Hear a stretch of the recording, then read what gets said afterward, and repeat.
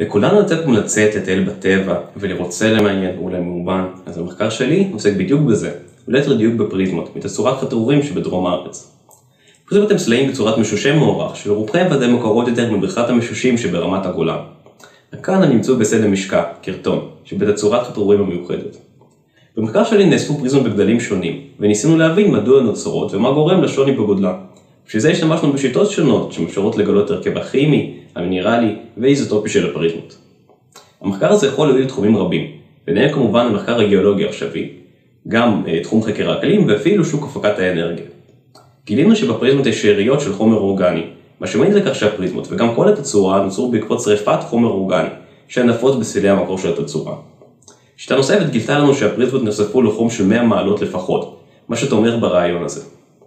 מדידה אחרת גילתה שיש קשר בין כמות הנפח שעבדה בפריזמות לבין הגודל הפריזמות המתקבלות.